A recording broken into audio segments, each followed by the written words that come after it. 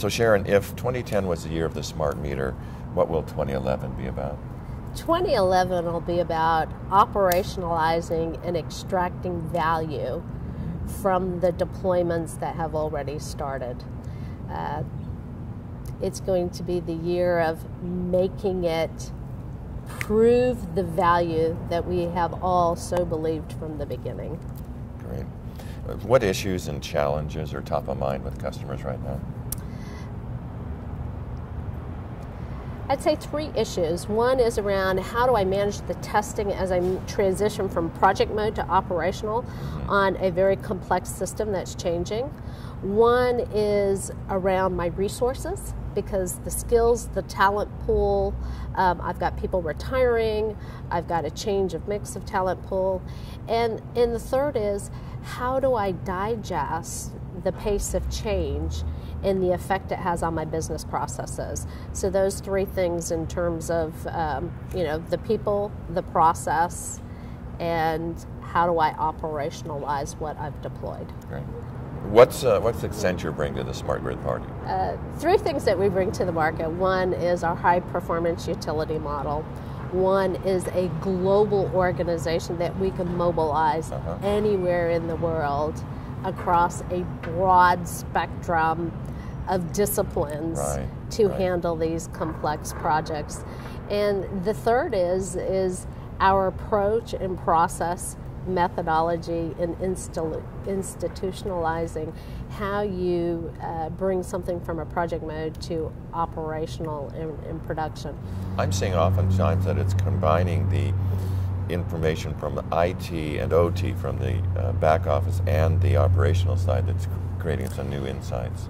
I mean, you even at um, most shows you go to or most conferences, you are starting to hear everyone talk about IT and OT. Mm-hmm. Um, I think we're going to show up a year from now somewhere and we're going to see a lot of new companies who are doing some really cool things with data.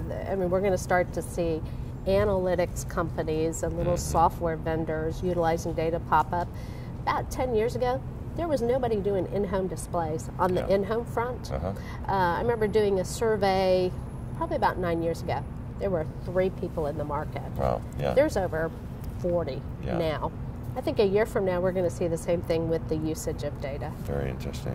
Where do you where do utilities stand right now in the use of business process and understanding how that's got to be part of the total solution? You know, that's a great question. Some um, some get it and some value it. Uh, some I'm not sure uh, are there yet. Mm-hmm. So it, it's really varied. Um, but we see a, we do see a number of large utilities who are taking that step to really go through and define it and understand it. Um, a year ago, I was somewhere in Washington D.C. and Joe Rigby was speaking uh, right before or right after me, and I remember a year ago him standing up and saying, you know, we are about to embark on a very large program, and the one thing I have come to appreciate is the business transformation and the business process, and we as a yes. company have to get that right. I thought it was, you know, absolutely spot on, and to have it coming from the most senior level leading a utility uh, there are absolutely people who understand and get it. It is so significant. It, it, it transforms a utility and it cuts across yeah. everything they do. It is not is no longer a single department function. So much of this now yes. becomes cross departmental. Uh, can you comment on the growth of, of Accenture's smart grid practice in the last year or two? Have you added new capabilities, new personnels, new practice areas, new geographies? Yeah. So Accenture's smart grid practice is, is grown on all dimensions. Um, our penetration into the geographies uh, with the movement we see going on in Europe on the smart metering front, uh, with the interest in Singapore on smart cities, with the work on the grid in China.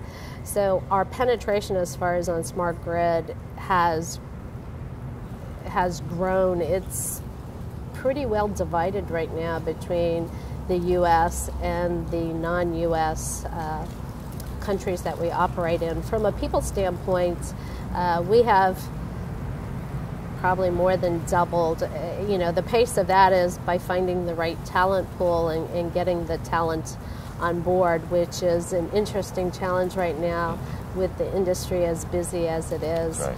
Uh, we've had our, our, our investments, we continue to invest in things that are repeatable and help a utility to operationalize. So one of our investments has been in our INDE, our intelligent network uh, data environment, which helps a utility to operationalize their smart grid. This past year, we launched a practice that we call the Scott Group, which is focused more on the engineering aspects and having more core engineering skills uh-huh. to be able to help in the OT area mm-hmm. within the utility. Uh, where do you expect your biggest growth next uh, next year, whether it's geographically or, or the type of practice? Um, the growth varies from the regions. So here uh, in the U.S. Uh, we're seeing a lot of interest in enterprise architecture and integrating this. We're seeing a lot of interest more on the grid side, starting to look at how I tie in the grid operations, but know that the pace of AMI started six years ago here. Mm-hmm, mm-hmm. In Europe, our growth is on the smart metering side. Okay. I mean, that is a big thrust. In Europe, uh, we moved to APAC, the Asia Pacific Rim it is all about grid and grid efficiency. So uh, the growth depends on the region of the world that we look at. All right. Sharon, thank you very much. Thank you, Jesse. Thank it's you. been great. It's been Appreciate fun. it. Thank you.